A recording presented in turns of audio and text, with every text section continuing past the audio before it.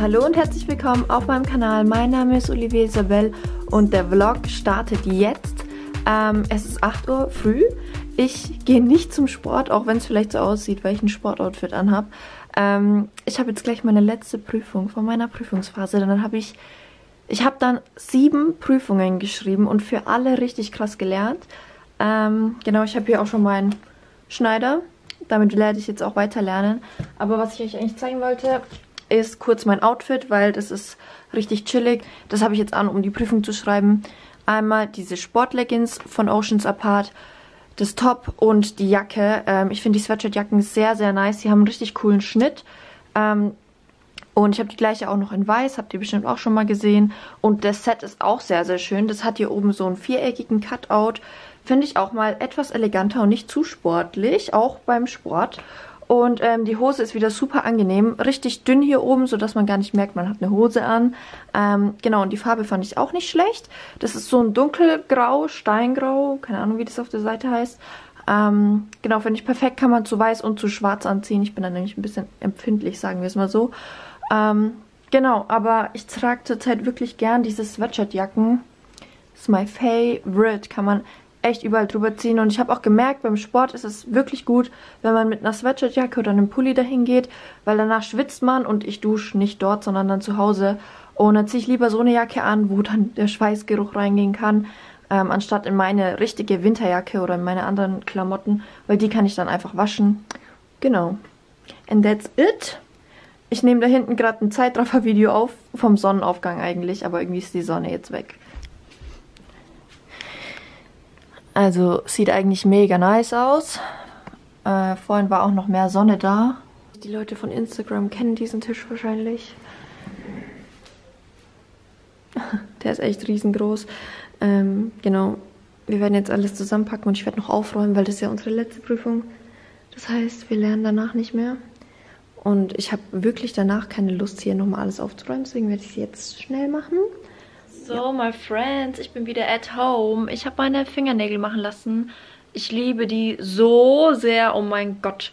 Einfach, weil die so lang sind und so hell. Also, weiß ist jetzt meine Go-To-Farbe und ich weiß nicht, ob man es sehen kann. Also, meine Fingernägel, die sind ja nicht nur weiß, die haben mir so einen French-Tip. Also, die sind äh, rosa vorne. Sieht man echt ein bisschen schlecht, aber I love it so much. Ähm, ich habe gerade mein Stativ kaputt gemacht. Ich habe das hier abgerissen, aber egal was kaputt ist, ich klebe einfach immer alles mit Sekundenkleber zusammen und es hält wie neu. Also, genau, ich werde das dann einfach da reinkleben, dann hält es wieder. Mein Zimmer sieht richtig chaotisch aus. Wir haben einen Wäschekorb, der steht hier schon seit drei Tagen ungefähr so, weil ich die ganze Zeit gelernt habe, keine Zeit hatte. Ich habe auch Wimpern gemacht. Genau, ich war heute auch beim Wimpern machen. Ich war im Solarium und ich war Fingernägel machen, direkt nach der Prüfung. Ich bin jetzt erst seit kurzer Zeit hier wieder zu Hause in meinem Zimmer und habe jetzt erstmal hier alles fresh gemacht, schön Lichter angemacht. Ich habe jetzt hier auch wieder eine Lampe drin, die war jetzt lange kaputt. Da habe ich mir jetzt auch so eine farbige Lampe geholt. Deswegen ist das Licht auch rosa. Und morgen habe ich einen Friseurtermin, da werde ich euch auch mitnehmen. Auf jeden Fall werde ich jetzt mein Zimmer aufräumen. jetzt thank you.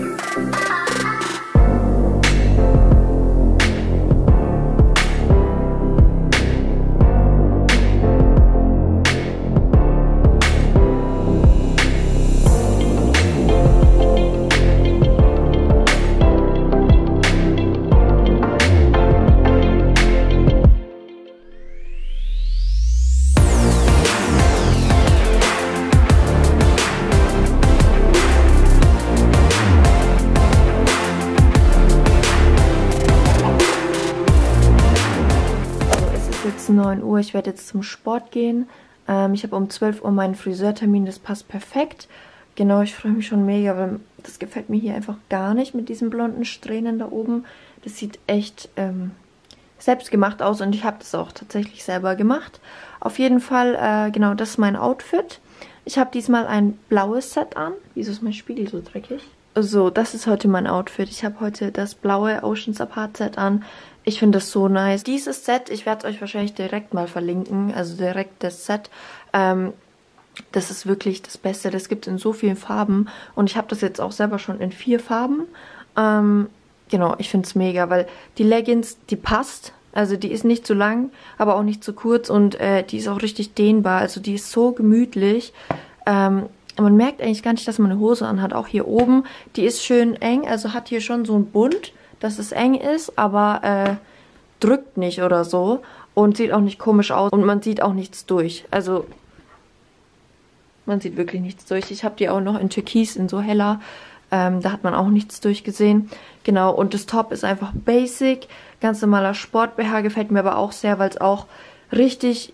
Also ich hatte ja schon Sportklamotten, die wirklich einfach sehr anstrengend anzuziehen waren und dann auch so eng auf der Haut waren. Nicht, weil ich es zu klein bestellt habe, sondern weil das Material einfach nicht stretchy war. Und ich finde, das ist bei Sportsachen extrem wichtig. Ähm, weil du dich ja auch bewegen können willst oder auch mal dehnen willst oder so. Und genau. So, Friends, ich habe jetzt meine Haare zusammengebunden, aber das ist der letzte Moment mit hässlichen Haaren und ich sag's euch, ich habe mich wirklich so unwohl gefühlt. Man sieht hier meine Extensions, aber besonders wegen der Farbe habe ich mich so unwohl gefühlt. Ähm, ja, deswegen wird das jetzt gefixt und ich freue mich einfach nur. Und ich habe mir gestern selber einen Eyebrow-Lift verpasst. Love it.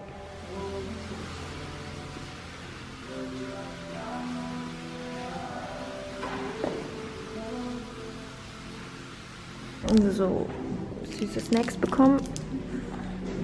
Meine Haare werden jetzt gefärbt. Ähm, mein Ansatz sah ja so schlimm aus. Da machen wir jetzt die Strähnen, ziehen wir ein bisschen hoch und dann bekomme ich neue Extensions. Da hängen auch ganz viele. Yes. Und wir haben jetzt was zu essen bestellt. Ich freue mich. Das sind meine alten Extensions, die werde ich mit heimnehmen. Die sind aber schon mega kurz. Ich habe die auch mal abgeschnitten. Die sind aber noch okay von der Qualität, deswegen dachte ich mir, ich nehme sie jetzt einfach mal mit heim. Keine Ahnung, was ich damit mache. Ähm, genau.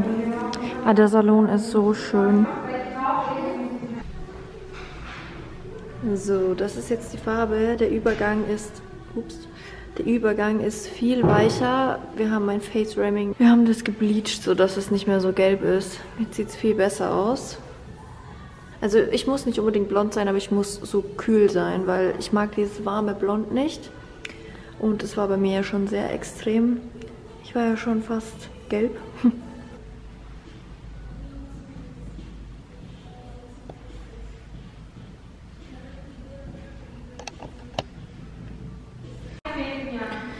So, so lang bleiben sie nicht natürlich. Oh mein Gott. Die sind jetzt gerade extrem lang. So bleiben sie nicht. Also wir schneiden die noch ein Stückchen ab. Ähm, das ist jetzt komplett, das ist jetzt, wenn 60 cm drin sind, sind sie so lang. No.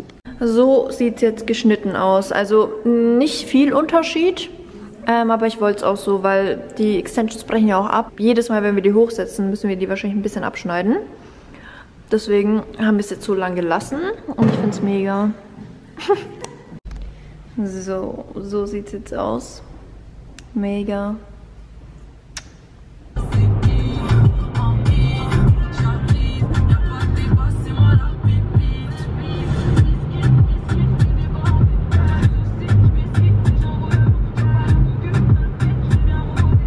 Wie ihr seht, habe ich jetzt wieder lange Haare. I love it. Ähm, ich habe 100 Gramm Extensions drin. Das ist nicht so viel, aber ähm, ich finde es eigentlich perfekt für mich, weil alles andere würde wahrscheinlich sehr unnatürlich aussehen. Ich habe hier meinen Kalender, ich weiß nicht, ob ich euch den schon gezeigt habe, ich glaube schon, für das Jahr 2022. Ich plane gerade für die nächsten Wochen bzw. Tage, weil äh, ich habe zwar Prüfungen vorbei, aber ich habe schon wieder so viel zu tun. Von genau 1, 2, 3, 4, 5, 6, 7, acht, neun Sachen, von neun Sachen habe ich heute zwei geschafft. Und das ist, äh, der Friseurtermin hat halt schon sehr lange gedauert. Deswegen, ähm, aber es ist jetzt eigentlich auch schon 10 Uhr. Ähm, genau, ich werde aber jetzt noch ein bisschen was machen. Ich bin so tot heute, weil ich auch nicht so viel getrunken habe. Und meine nächsten Tage sind auch schon wieder voll geplant. Also, yes nach den Prüfungen kommen immer alle gleichzeitig und wollen was mit mir machen und ich bin eh schon so voll, aber Nägel, Wimpern und Haare habe ich jetzt schon gemacht, von daher ich, kann ich mir jetzt auch die Zeit für die anderen nehmen. Yes, I'm working, working all the time. Und mein Flug ist schon gebucht. Ich werde auch ein neues YouTube-Video dazu drehen. Das werdet ihr dann sehen, wo es nächste Woche für mich hingeht. Genau. Also, let's see. So, friends, it's a new day. Heute ist Donnerstag. Ich gehe jetzt eigentlich immer vormittags zum Sport. Wie ihr sehen könnt, heute in All Black, auch wieder von Oceans Apart. Das ist meine allerliebste Lieblingsleggings. Ähm, total basic, da ist kein Aufdruck außer hier unten. Ähm, einmal das Oceans Apart Zeichen. Ähm, aber wie ihr seht, die sitzt so bombastisch. That's my outfit. So, was ich auch neu entdeckt habe, und wahrscheinlich bin ich die Letzte auf dieser Welt, die das gecheckt hat, ähm, dass man einfach immer Sweatshirtjacken drüber zieht, wenn man zum Sport geht, weil wenn man danach nämlich ein bisschen schwitzt und nicht dort duscht und dann diese Jacke anzieht, dann geht der Sweat in die Jacke und nicht in deine anderen Klamotten, die du anhast oder nirgendwo sonst hin und äh, das ist perfekt, weil die kann man nämlich einfach waschen. Und es sieht auch noch nice aus. Und wenn es kalt ist, kann man die auch anlassen. Also einfach perfekt. Und ich muss auch sagen, ähm, die ist natürlich auch von Oceans Apart. Aber die ist auch wirklich sehr, sehr bequem und sieht nice aus. Hat einen coolen Schnitt. Ist hier so ein bisschen enger. Das haben ja nicht mehr so viele Sweatshirtjacken. Ähm, hat eine große Kapuze. Also sieht halt auch, sieht halt auch äh, stylisch aus. So für den Alltag, wenn man sich mal chillig anziehen will. I love it. Ich liebe die Weiße davon auch. Deswegen, yes.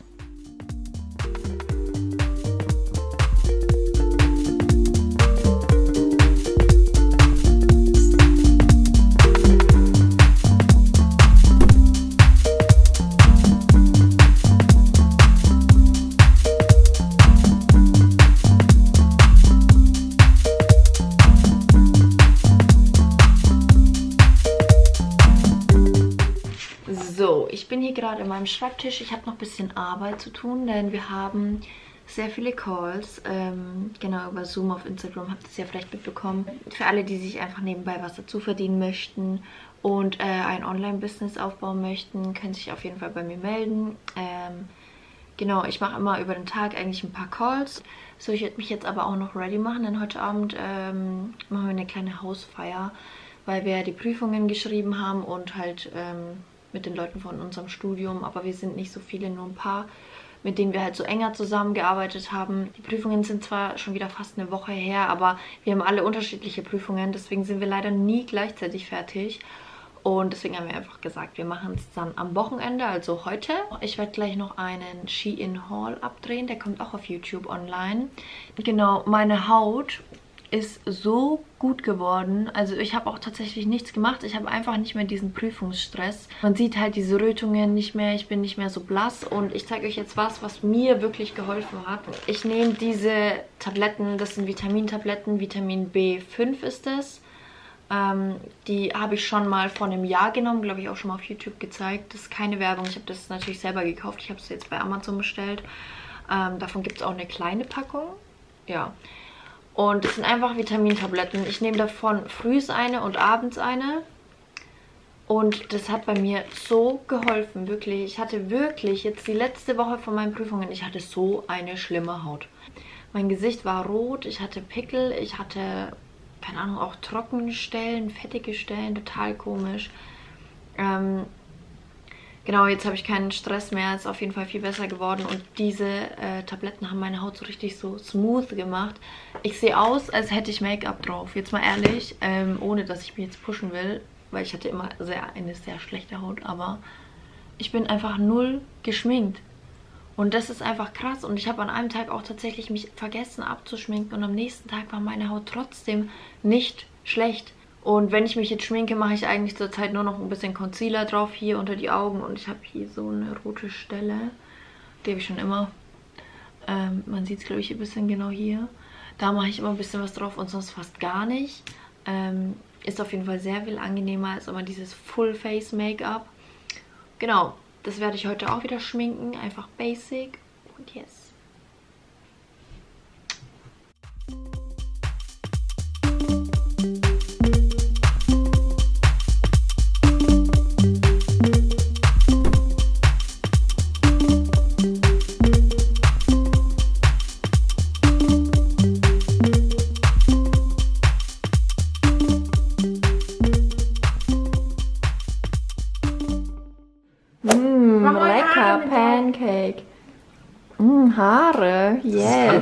Hast du meine Schlafanzughose an? Ich habe die schon gesucht.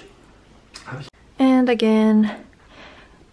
Let's go zum Sport. Ein letztes Mal. Ich weiß, irgendwie dieser Vlog besteht gefühlt nur aus, ich gehe jetzt zum Sport. Ähm, ja, ist halt so, wenn ich viel Freizeit habe, gehe ich halt auch gerne und viel zum Sport. Und ähm, ich werde äh, noch ein neues Kästchen da hinten bekommen. Das sieht genauso aus wie das hier. Weil meine Schwester kriegt einen Schrank und äh, ich nehme dann ihr altes Kästchen. Weil zurzeit sieht es halt so aus. Die ganze Zeit. Weil das nicht mehr reinpasst. Das passt einfach alles nicht rein. Und ja, ich könnte das auch aufräumen. Aber ich äh, nehme dann später das Kästchen und räume dann alles schön um und sortiere das auch. Deswegen sieht es gerade da hinten ein bisschen komisch aus.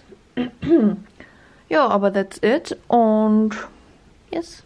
Love my hair. Jetzt habe ich mir einmal hier Nudeln gekocht mit Sahnesoße. Mm, lecker. So, my friends, ansonsten war es das mit dem Vlog. Ähm, schaut auf jeden Fall bei meinem Shein-Haul vorbei. Der kommt auch morgen online. Genau, heute ist ja Sonntag. Ich war beim Sport. Ich werde ansonsten nur noch jetzt die Videos schneiden und ein bisschen chillen. Das war es dann auch. Ich habe mich heute auch gar nicht ready gemacht oder so. Genau, and that's it. Wir sehen uns beim nächsten Video.